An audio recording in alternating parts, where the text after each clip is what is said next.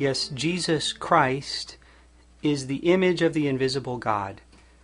We've been looking at St. Paul's letter to the Colossians, and now we begin to dig in verse by verse into this passage which shows the absolute preeminence of Jesus Christ in all of creation. Jesus, the Word made flesh, is indeed the image of the invisible God. Now, this is important that we're speaking of the Word made flesh as the image of the invisible God. We established that from Pope Benedict in our last show, and it only makes sense because we know in the Trinity that the Son is the image of the Father. He eternally proceeds from the Father as his perfect image in the divine Trinity. He is that image of the Father. But notice that St. Paul isn't speaking of the image of the Father. He's not speaking of the eternal generation of the Son. He's saying something different. He's saying that he is the image of the invisible Godhead. In other words, that we're talking about an image uh, that shows to us the whole Godhead, uh, the entire Trinity, uh, God Himself. That's different than the Word, who is God uh, and is the image of God the Father. Also, St. Paul's words would not make sense if he were speaking of the eternal, uncreated Word apart from the incarnation, because how can an image manifest something invisible unless it's visible? So we're speaking here of the visible image of the invisible Godhead, namely Jesus Christ, the Word made flesh. This is clear enough. St. Paul confirms that Jesus Christ is the image of the Godhead in his uh, 2 Corinthians chapter 4 verse 4 and he speaks of Christ who is the image of God. Christ who is the image of God. Uh, the gospel of the glory of Christ who is the image of God. So Jesus Christ as word made flesh is this image of the invisible God. And it is he who is going to reveal to us in the fullness of time God's eternal plan uh, revealing to us who God is. now, Pope Benedict, when he spoke of this passage, he spoke of the word icon. And actually, the word for image in Latin, imago, is rendered uh, imago, but from the Greek, it's actually icon. So Jesus is the icon of the invisible God.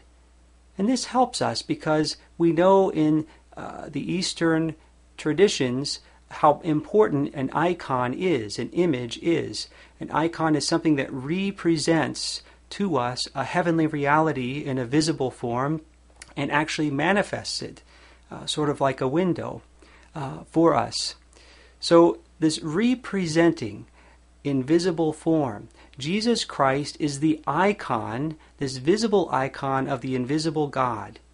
St. Paul tells us that in him dwells the fullness of divinity uh, bodily, corporally, so that when we see Jesus, when we see his most sacred heart, when we touch his hands and his feet and his side, we can truly say with St. Thomas, My Lord and my God, uh, because he is that image manifesting, representing to us the invisible God in visible corporal form. Now, I mentioned manifestation he manifests God. It was God's plan from all eternity that he unite this created nature, nature to himself through the incarnation, the hypostatic union. And so uh, in Jesus, uh, we have the manifestation, the full revelation of God's love for us, the full revelation of the Father, Son, and Holy Spirit. Uh, he himself tells us uh, that no one, uh, let me find it here, he says, that uh, uh, no one knows the Father except through me. Or he said to St. Philip, He who sees me sees the Father. And St. John says earlier in his prologue, No one has at any time seen God. No one. The only begotten Son of God, who is in the bosom of the Father, he has revealed him. And so Jesus is this image of the invisible God, uh, revealing to us the Godhead, the Trinity, the life of the three divine persons. let's conclude with a little corollary uh, that flows from this. If the Word made flesh is the image of the invisible God, uh, this tells us something about when God makes us in His image and likeness. Keep in mind that God, uh, according to the Franciscan thesis, God from all eternity first willed Jesus Christ, the Word made flesh, born of the Virgin Mary. And so he is the prototype, he is the image uh, and likeness of God par excellence, and the exemplar. So when God creates man in his image and likeness, he first sees Jesus, and then we are modeled on Jesus Christ.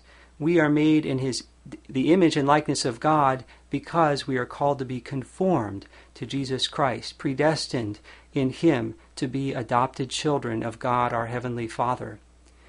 Come back in the next show and we'll look at that next phrase of St. Paul in Colossians 1:15 that he's the firstborn of all creation, all creatures. May God bless you and may Mother Mary keep you. Ave Maria.